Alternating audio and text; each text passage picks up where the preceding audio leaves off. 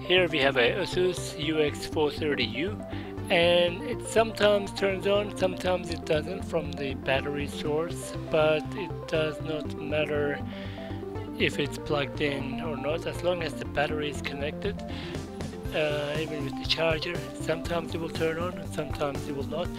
And um, including from a standby sometimes it will boot sometimes it will not.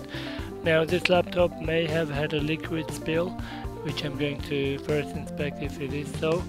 And if it is then check the components if they're working fine.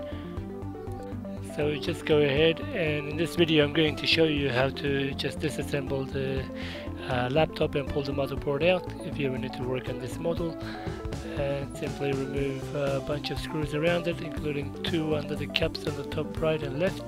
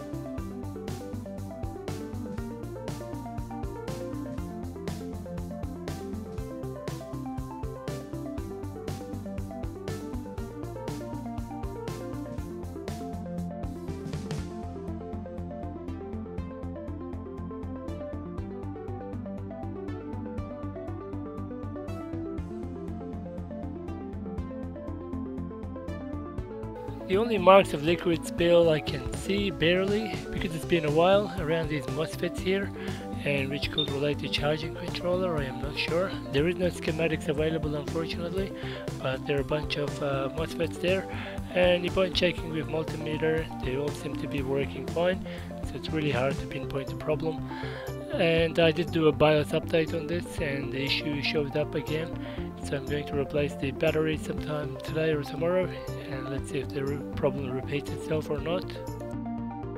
The battery connector has a metal clip which you need to move towards the left before you start lifting up the battery connector.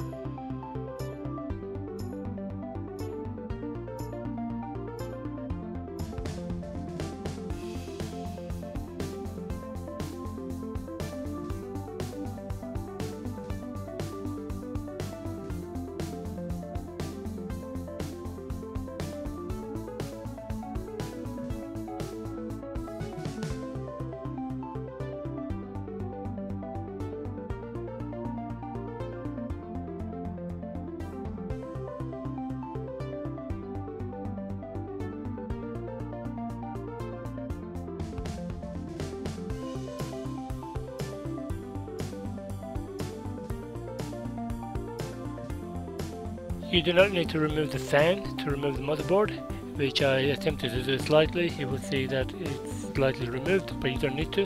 You need to actually uh, loosen the hinges on the right side and the motherboard will come loose easily. So ignore what I've done on the left side here. So it just, as you can see there, two screws on the top right side, loosen them a little bit more and maybe open the hinge a little bit more and the motherboard will just fall out of its place.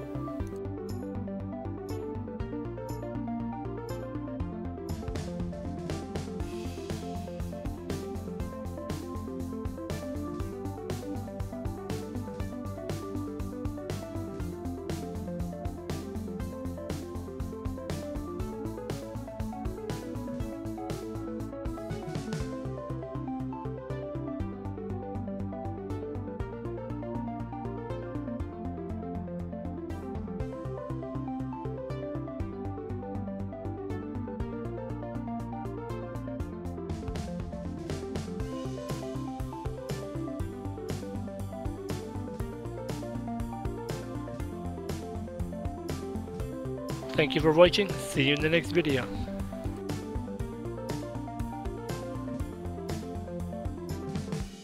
Thanks for watching. Please subscribe to support this channel.